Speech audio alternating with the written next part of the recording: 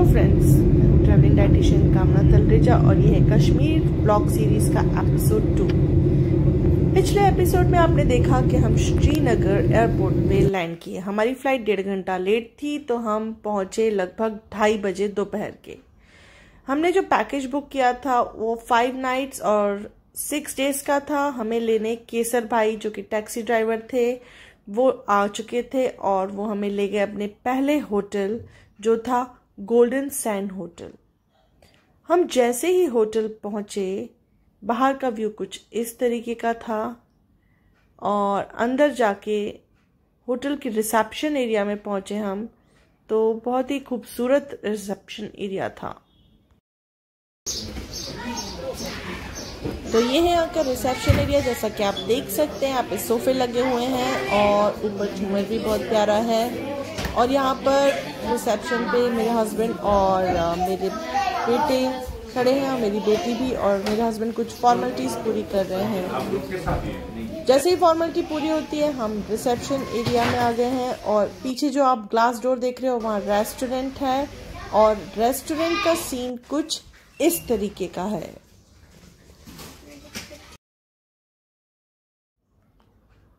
तो अपनी फॉर्मेलिटीज़ पूरी करने के बाद हम लिफ्ट में चढ़े और सीधे पहुँच गए अपने रूम रात में ठंड लगी रूम था तो बहुत सुंदर लेकिन थोड़ा छोटा था। तीन बेड्स थे एक डबल बेड और एक सिंगल बेड और एक वॉशरूम अटैच था जो काफ़ी बड़ा था रूम के कंपैरिजन में। और इन्होंने यहाँ पे एक ड्रेसिंग टेबल दिया हुआ था एक टीवी भी था और एक वार्ड्रोब भी था और पीछे एक वॉशरूम था, जैसा कि मैंने बोला वो काफ़ी बड़ा था। तो रूम में सेटल होने के बाद हम लोग ने थोड़ा कुछ खाया, दाल राइस जिसको मैंने रिकॉर्ड नहीं किया और हम फिर निकल पड़े घूमने के लिए। तो हम जा रहे थे मुगल गार्डन यहाँ पर टोटल छह मुगल गार्डन हैं, जिसमें से एक है निषाद गार्डन, एक शालीमार बाग, चश्मे शाही, परी महल एट्सेट्रा हम जा रहे थे निषाद गार्डन। निषाद गार्डन का रास्ता डल लेक के साइड से होते हुए जाता है, और ये रास्ता इतना खूबसूरत है कि क्या कहना। मैं पूरा टाइम इस खूबसूरत रास्ते को एंजॉय करती हुई जा रही थी, और आज इतना ट्रैफ़िक था, पर इस रास्ते की वजह से हमें पता ही नहीं चला कि कब हम निषाद गार्डन पहुँच गए। निषाद गार्डन पहुँचते ही हमने लिए टिकट्स।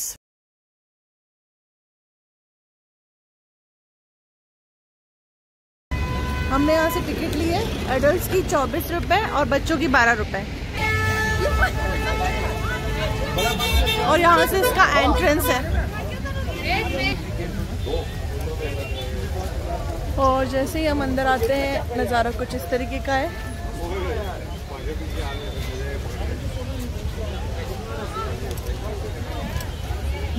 ऑफ़ किया नहीं तूने।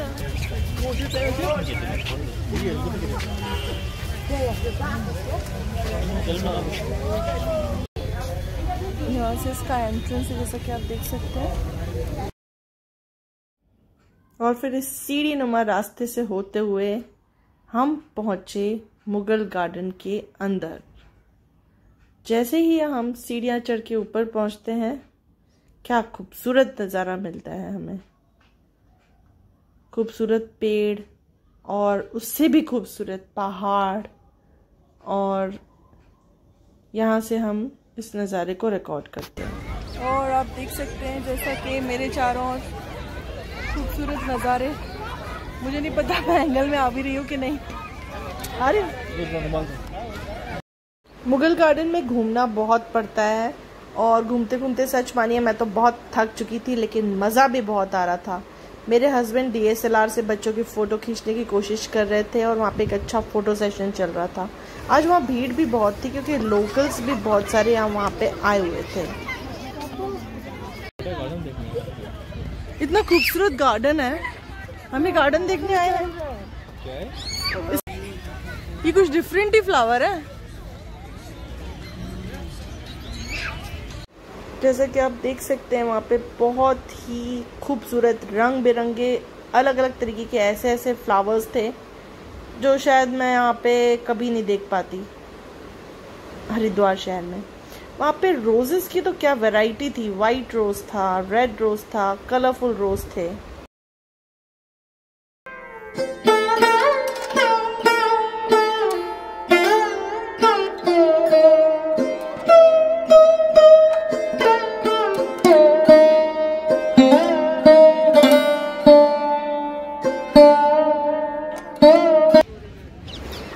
आप भी ये पक्षियों की आवाज़ सुन रहे होंगे मेरे साथ। देखिए कितनी खूबसूरत आवाज़ आ रही है।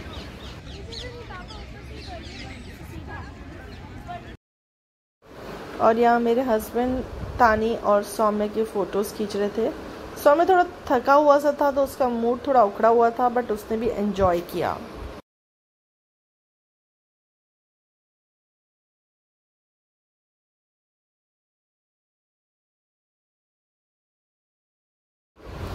उस गार्डन में घूमते घूमते, सच मानिए, मैं यही सोच रही थी कि कश्मीर को जन्नत यूँ ही नहीं कहा जाता। यहाँ एक अजीब सा सुकून है। इस जगह को वापस छोड़ के आने का मन नहीं करता अगर आप एक बार वहाँ चले जाओ तो। मैं वहाँ के हर एक एहसास को, हर एक खुशबू को, हर एक हवा के झोंके को अपने साथ लेकर आना चाह रही थी और उन्हें बहुत ही करीब से महसूस कर रही थी। मेरी आँखें उन नज़ारों को देख के थक ही नहीं रही थी। आप भी देख सकते हैं वहाँ के खूबसूरत नज़ारे।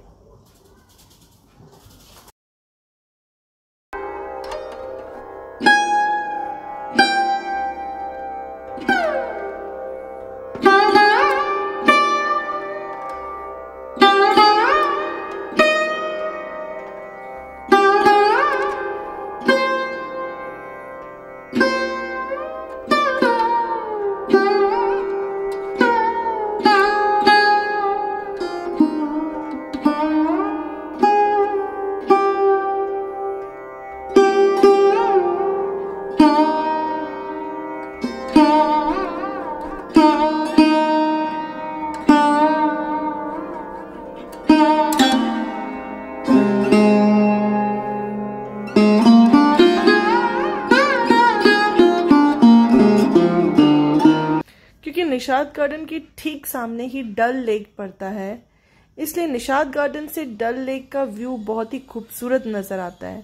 जैसा कि आप देख सकते हैं, जब हम वापस लौट रहे थे तो उस रास्ते से आपको डल लेक का बहुत ही खूबसूरत व्यू नज़र आ रहा है। जैसा एंट्रेंस था, ठीक वैसे ही सीढ़ियाँ उतरते हुए इसका एग्जिट था और हम बाहर आ गए। बाहर आकर वहाँ पर कुछ लोकल शॉप्स थी जहाँ पर स्ट्रीट फ़ूड मिल रहा था।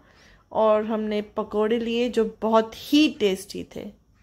और उसके बाद हम एक बार फिर निकल पड़े अपनी अगली डेस्टिनेशन की ओर।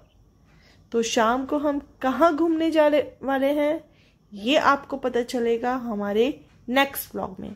तो हमसे जुड़े रहिए और अगर ये व्लॉग सीरीज़ पसंद आ रही है तो प्लीज़ सब्सक्राइब ज़रूर कीजिए।